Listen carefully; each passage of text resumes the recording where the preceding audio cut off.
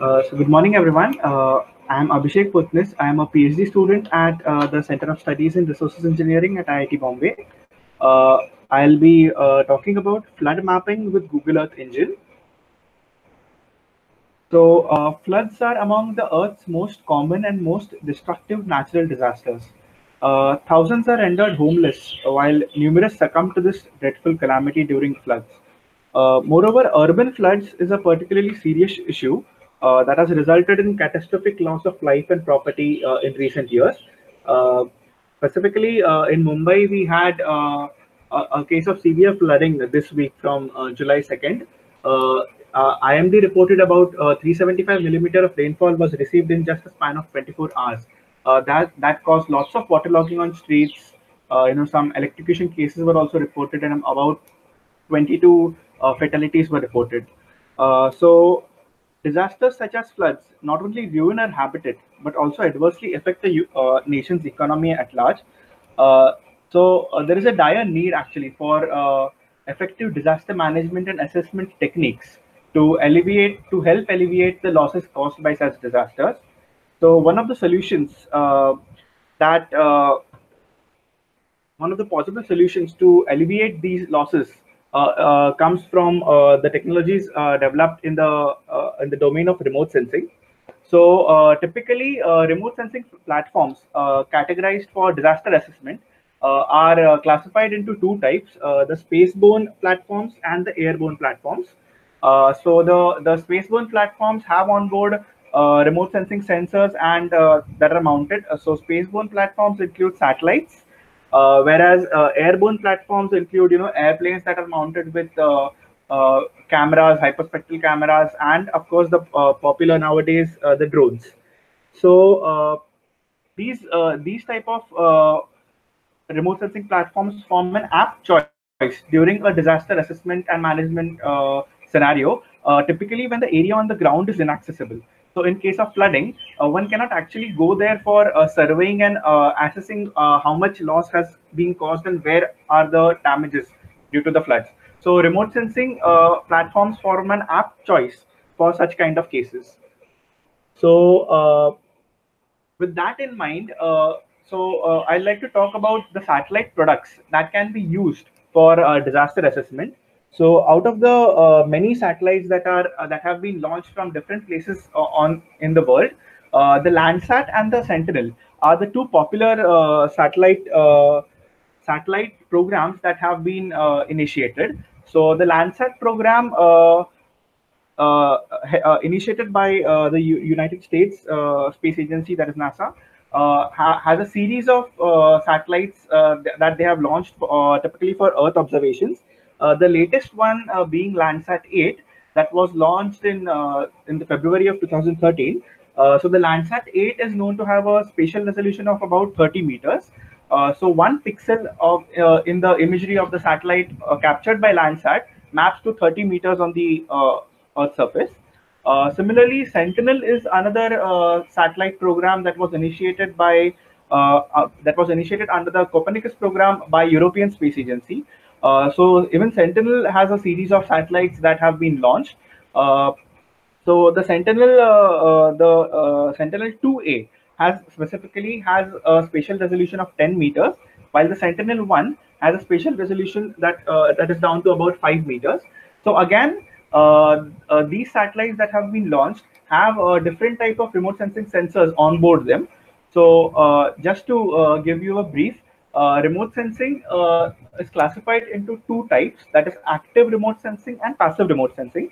So active remote sensing uh, involves uh, some kind of uh, radiation that has that is emitted by the satellite that is emitted by the sensors that hits the surface of the earth and the reflected uh, radiation is then captured by these sensors and the analysis is further done. Whereas passive remote sensing involves measuring the radiation that is emitted from the Earth's surface.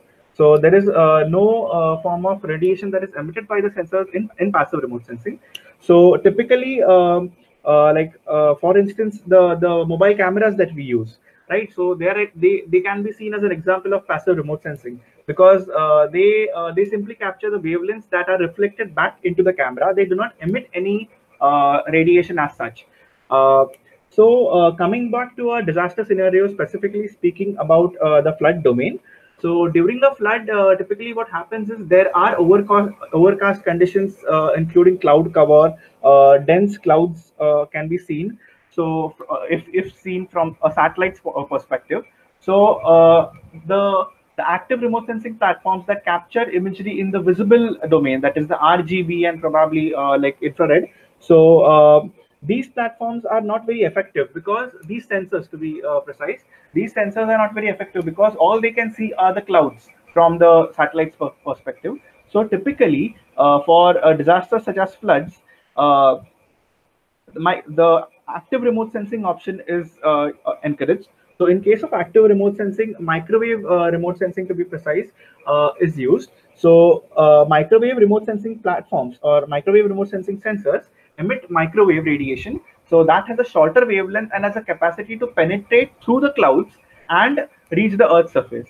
So uh, also one important thing is uh, in case of active remote sensing, uh, at night time it is difficult to infer what we are actually seeing on the ground but that is not the case with active remote sensing and active remote sensing again because of the advantage uh, advantage of uh, microwave remote sensing that uses uh, shortwave radiation so short wavelength uh, radiation so we the the the satellite center sensors are typically you know termed as all day and all weather satellite sensors so Sentinel-1, uh, the satellite has a C-band uh, synthetic aperture radar.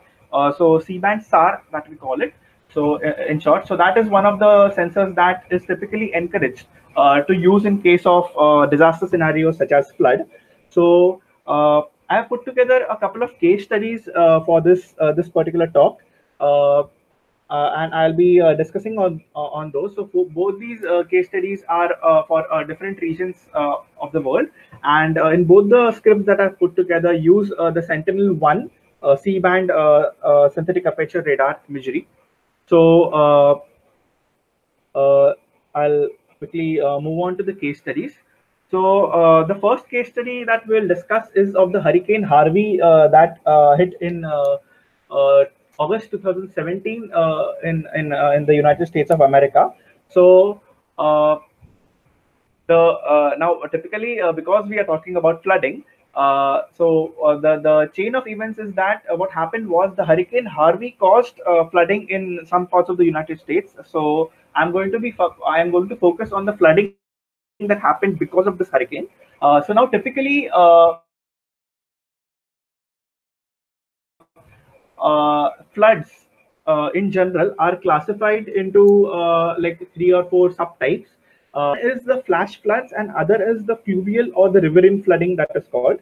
So the flash floods are typical floods that are caused by extreme events such as uh, rainfall, uh, like high amounts of precipitation that happens over a region, and the runoff water is not absorbed into the ground.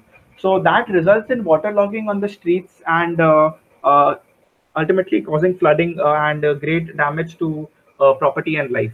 So that is about the flash floods and the riverine flood or the fluvial flood, as the name suggests, is because of a river or a water body overflowing.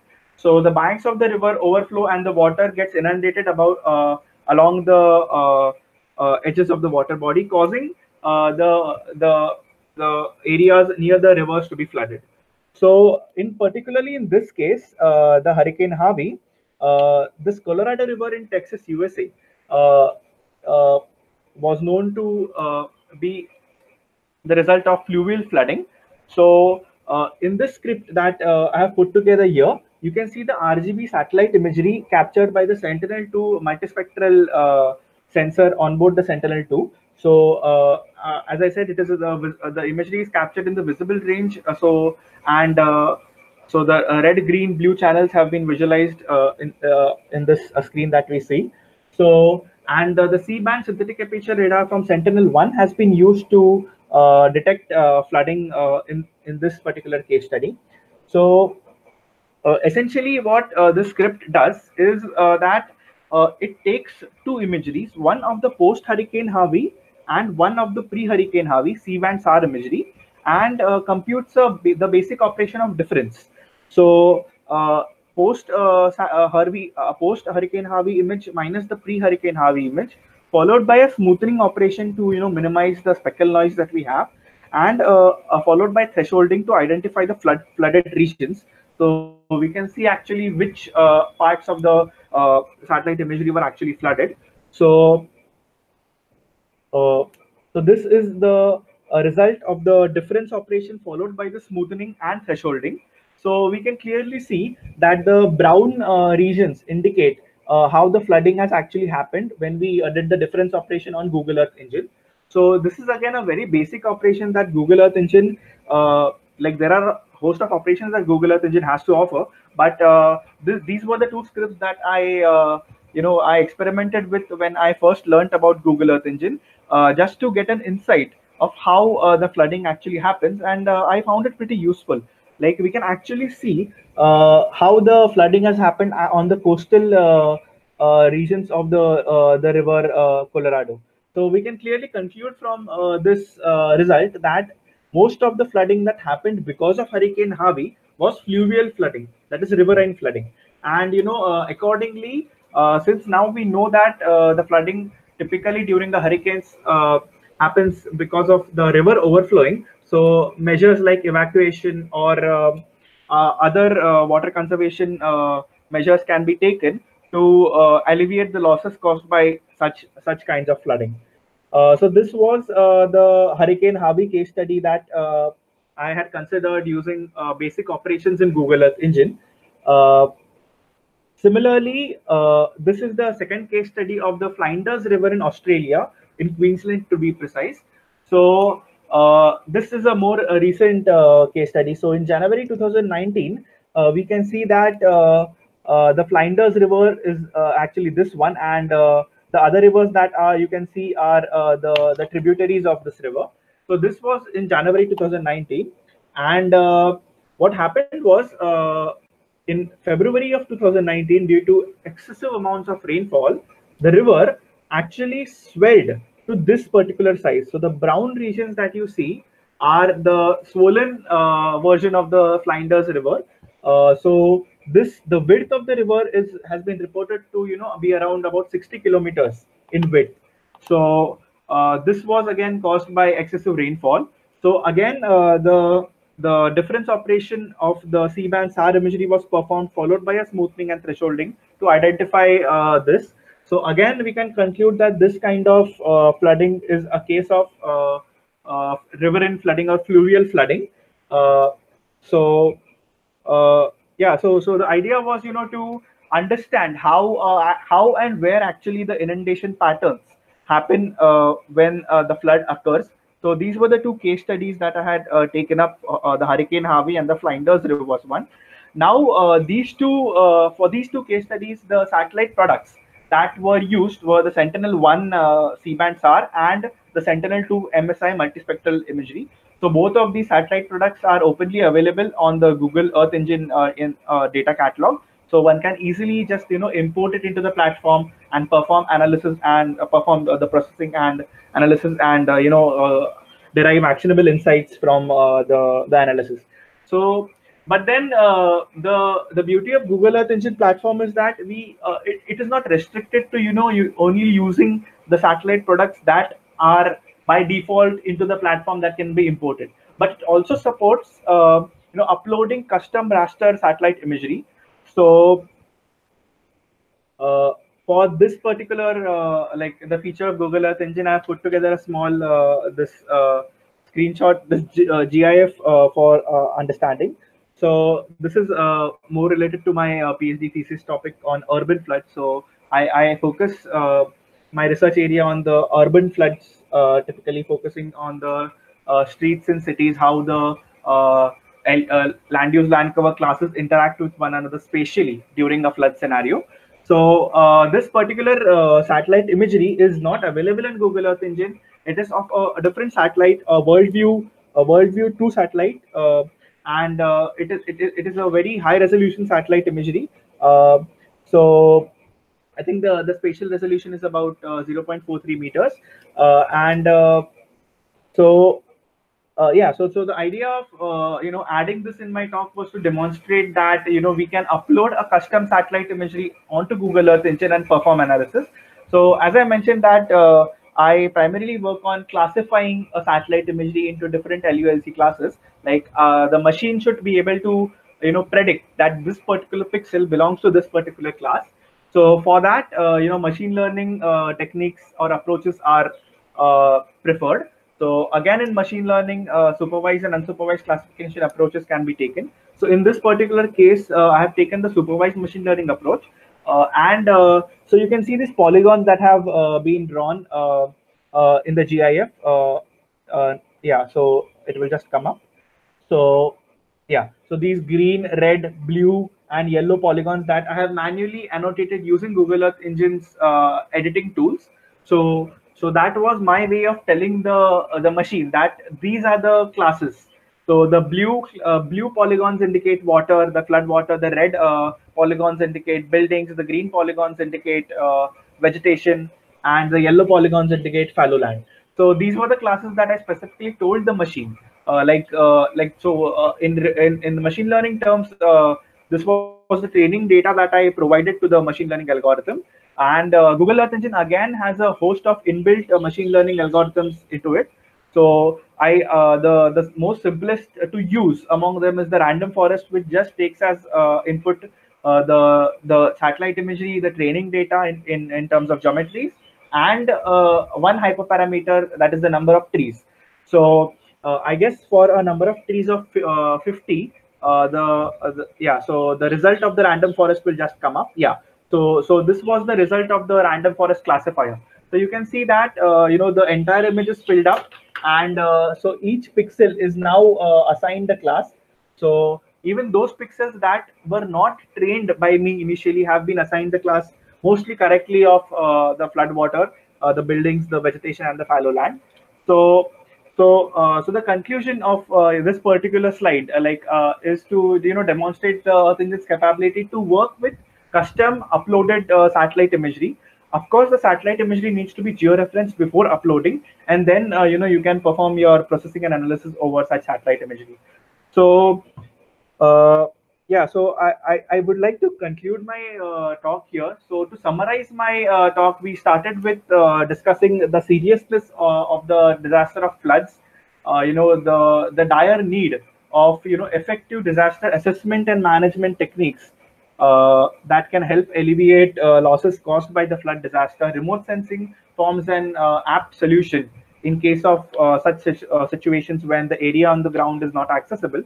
And particularly uh, microwave remote sensing from synthetic aperture radar uh, is a good choice during uh, the flood scenario when there is significant cloud cover and there is a necessity of you know being able to see satellite imageries during night too so we discussed two case studies of the Hurricane Harvey and uh, the Flinders River and concluded that both the floodings were the cases of riverine flooding or fluvial flooding caused by the overflowing of the river uh, Colorado in case of Hurricane Harvey and the Flinders River in, in Australia.